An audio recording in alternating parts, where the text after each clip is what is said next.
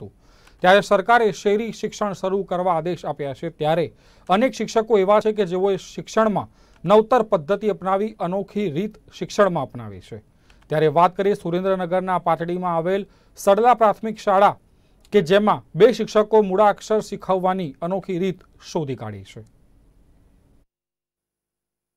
તમે બાળકોને જે કુંડાળામાં રમત રમતા જોઈ રહ્યા છો તે ગમ્મતની સાથે જ્ઞાન મેળવવાની પદ્ધતિ છે. જી હા, સુરેન્દ્રનગરના પાટડીમાં સડલા પ્રાથમિક શાળામાં ફરજ બજાવતા શિક્ષક નવગણભાઈએ બાળકો મૂળાક્ષરને ઝડપથી ઓળખી શકે અને બોલી શકે તેમજ બે મૂળાક્ષર મળી એક શબ્દ બને છે તે પણ સહજતાથી તેઓના મગજમાં ઉતરી જાય એવી રીતે પોતાની આગવી સૂઝથી જમીન પર ખાના બનાવ્યા છે, જેમાં મૂળાક્ષર લખી લંગડીની રમત દ્વારા સરળ રીતે બાળકોને મૂળાક્ષર સમજાવે છે. જેથી બાળકો પણ લંગડી લેતા લેતા મૂળાક્ષર સહેલાઈથી બોલે છે. મારા આગળ અત્યારે હાલ પ્રજ્ઞામાં ધોરણ એક બે ગુજરાતી વિષય. અને અત્યારે હાલ જો વૈશ્વિક મહામારી કોરોનાના કારણે શાળાઓ બંધ છે, પણ શિક્ષણ બંધ નથી. અમે બધા શેરી શિક્ષણ દ્વારા અવનવી પ્રવૃત્તિથી કેમ બાળકો શીખે એની અમે મહેનત કરીએ છીએ. મેં અત્યારે જો આપણે જૂની રમતો જે રમતા, લંગડી, પિત્તા, એવી જૂની રમત દ્વારા મૂળાક્ષરના અંદર લખ્યા દરેક, પહેલા એકમ મૂળાક્ષર લખ્યા ન, મ, ગ અને જ. અને એ દરેક બાળક વાંસે વાંસે લંગડી લેતા લેતા એ ચારે ચાર મૂળાક્ષર ઝડપી શીખી ગયા. એ રીતે બીજા એકમના જે હતા વ, ર, શ દ એ પણ એ રીતે ખાનામાં બનાવી અને દરેક બાળક એ ખાના કૂદતો જાય અને બોલતો જાય. જેમ જૂની રમત આપણે લંગડી રમતા, એના અનુસંધાને મેં આ ગુજરાતીમાં એકમના અંદર વણી અને બાળકો એટલા કમ્પ્લીટ બોલતા થઈ ગયા નતા ગમે બાળક મૂળાક્ષર ઝડપીથી ઓળખી જાય. પછી બીજી પ્રવૃત્તિ મેં એ કરાઈ કે એમને મેં આપણા કાર્ડશીટમાંથી કાર્ડ બનાવ્યા એમાં મૂળાક્ષર લખ્યા. ન, મ, ગ, જ. પછી એને કાનો લગાડ્યો, એને માત્ર લગાડ્યો. આવા મૂળાક્ષર લખી અને દરેક બાળકને રાઉન્ડમાં ઊભા રાખ્યા આવી ઊભા રાખી અને હું વચ્ચે એક મૂળાક્ષર બોલું કે ચલો ના કોના આગળ, એટલે એ બાળક વચ્ચે તરત ના બોલવા આવશે. પછી બીજો બાળક બાજુમાં આવશે કે ગ કોના આગળ, તો ગ આવશે.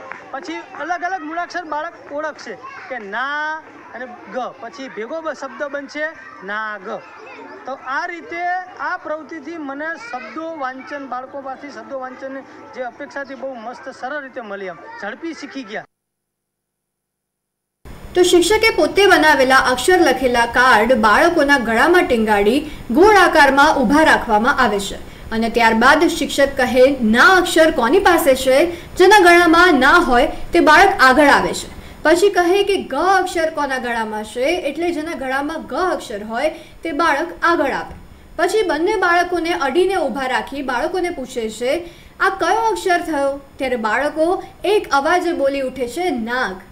આમ ધોરણ એક અને બેના બાળકોને ટૂંક જ સમયમાં તમામ મૂળાક્ષરો, બારાખડી અને શબ્દો ઓળખતા અને બોલતા કરી દીધા છે.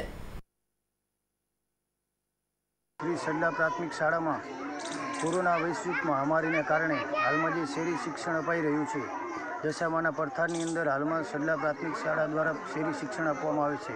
તેમાં સડલા પ્રાથમિક શાળાનો સ્ટાફ તેમજ નવગણભાઈ સાહેબ દ્વારા એક શબ્દો દ્વારા જે લંગડી રમત છે જૂની આપણી, તેના દ્વારા શબ્દો લખીને જે શેરી શિક્ષણ આપવામાં આવે છે, તે કામ ખરેખર બિરદાવવા લાયક છે.